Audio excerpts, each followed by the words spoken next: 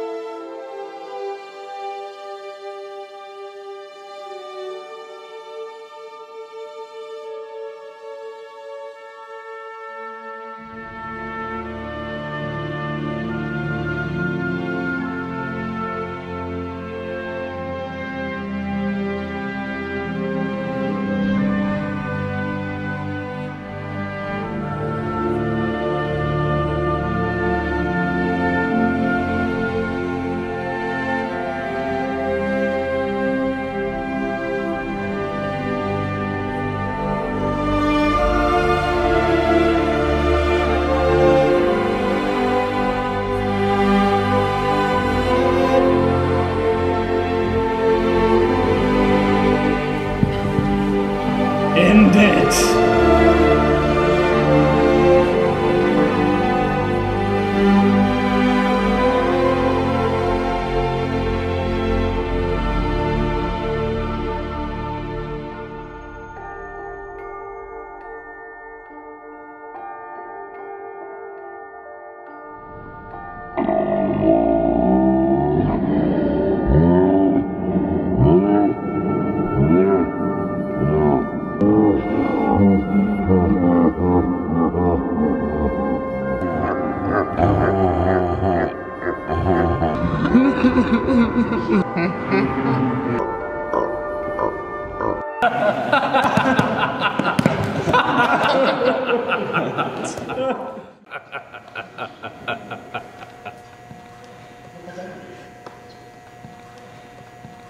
We lost.